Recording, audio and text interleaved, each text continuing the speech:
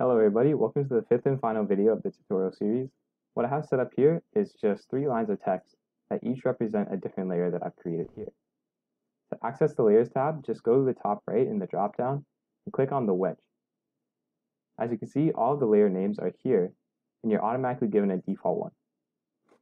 When you want to select a layer, you just need to double-click it, and it will add a check mark to it.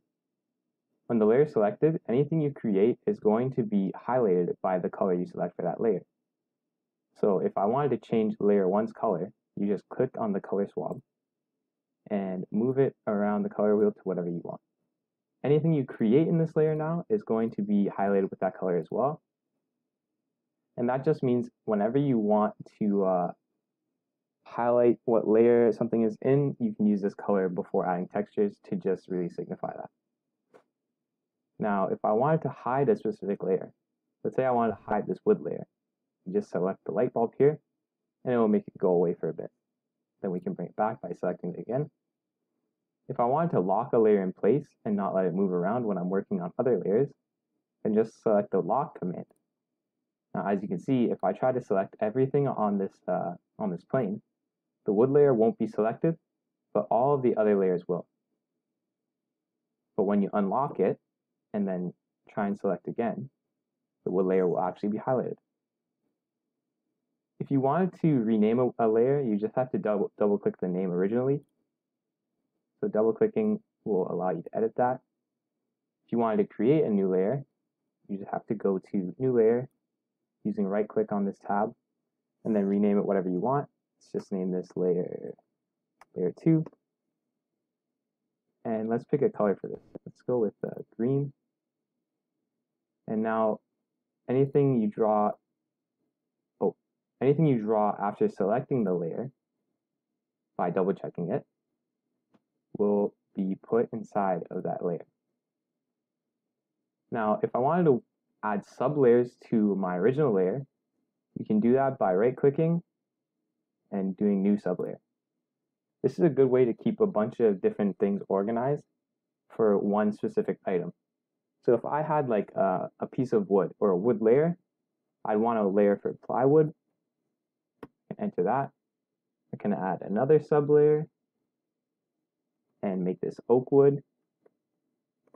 And then I can work in each of these layers specifically. Now let's see how we can apply textures using these layers. If we draw, let's say, a box, just like that, and we go into our rendered perspective, this is going to give you the uh, the real real life view where you can see materials applied to your models. So if we select this piece or this block and we go to the materials tab, you can actually select a material through here. We can use a new material, import from our material library, and we can scroll through a bunch of different options. So let's go into wood, and let's just pick something here. Let's go with uh, let's go with this ash polished. Once it's loaded in, you can click OK and it'll apply to your material. Another way to apply materials would also be to just go to your materials tab and click on the plus icon and import from your library. So let's just pick another tier material as well. Let's go with the African teak and then we can select our object, right click on the material, and then click assign to object. Now it's a little pixelated, which pretty much just means that um, the repeat value is too low. An easy way to fix that is just to go and click on the texture and you have to go to mapping channels and increase your repeat value. So let's make this 8 and see how that looks after. And then as you can see, the grain is now uh, a lot more visible.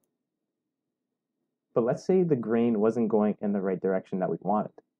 It's actually a pretty complex way to fix it, but just for your knowledge, I'm going to show you how to do it.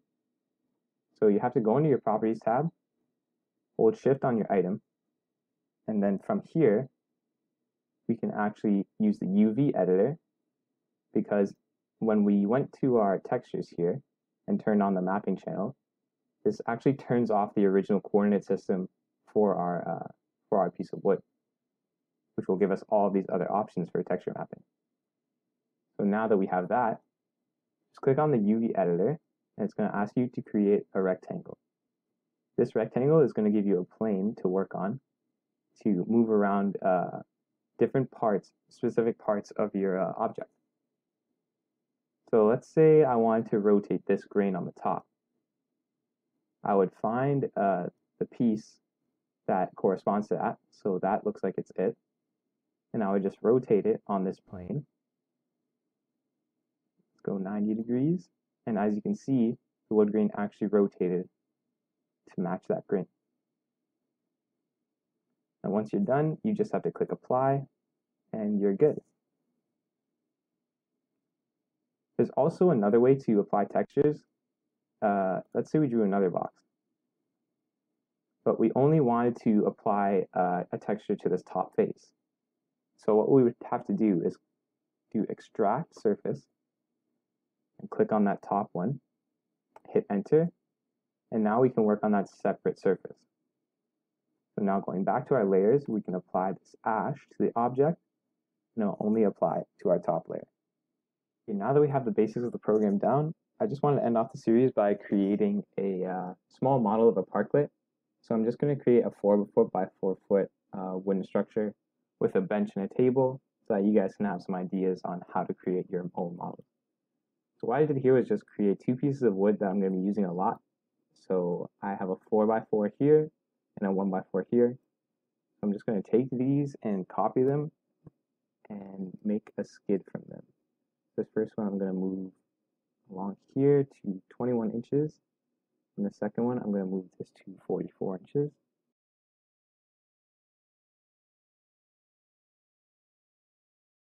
And then I'm going to move this piece of wood, oh, oops, I'm going to move this piece of wood on top of the other ones. So click move and pick from this point on the corner. Place it there. I'm going to do the same thing I did.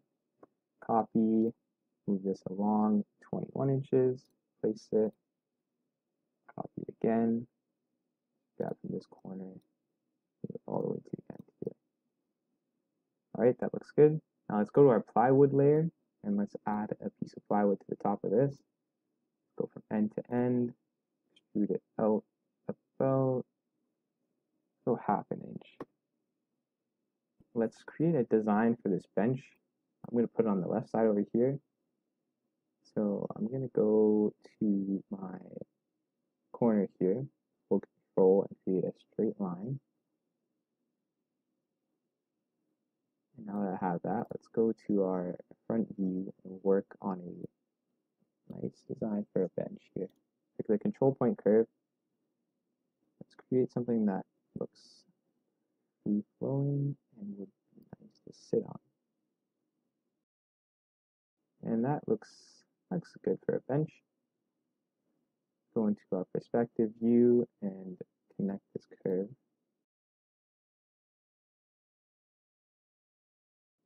Select all the curves, join them together. And let's extrude this. Let's go about half an inch. That's good. And then let's actually mirror this. I want it to go all the way to the other side over here. Let's find the midpoint. Now I'm going to create some uh, some one by twos and just follow this curve and just lay them on top of it.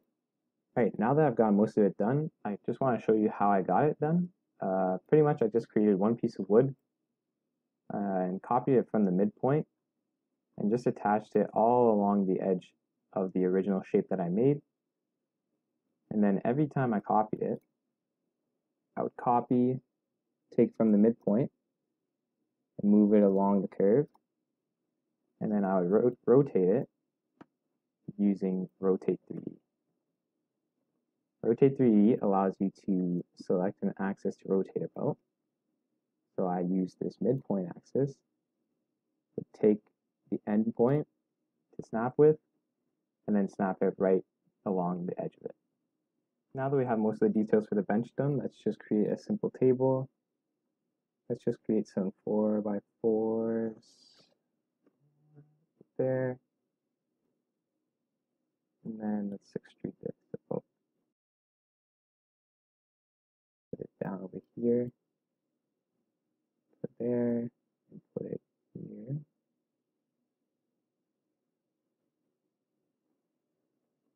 Copy this and bring it over to the corner. And that looks like a decent height. Uh, then we can create a small tabletop.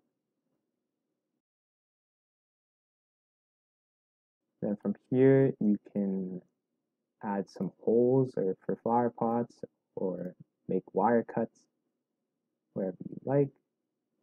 But all I'm going to do is just add a small hole for a flower pot possibly. Looks good. And then I'll take the wire cut tool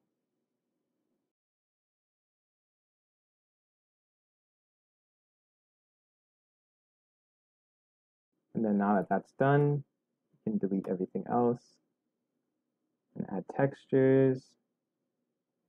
So let's pick let's pick birch for this texture. And let's pick maple for this. And then when you go into rendered, you should have something that looks something like this. You're going to see curves uh, when you go into rendered mode. So you pretty much just select them after and then delete that's pretty much it for the tutorial series. Uh, this is present day simple civil talking. Uh, so hello everybody. Uh, thank you for watching this series. I appreciate it.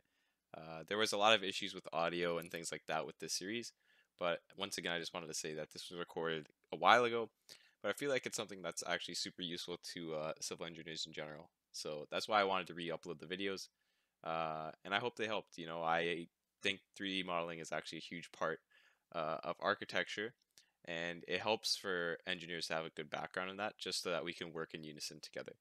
Um, so yeah, thanks for watching guys and I hope it helped.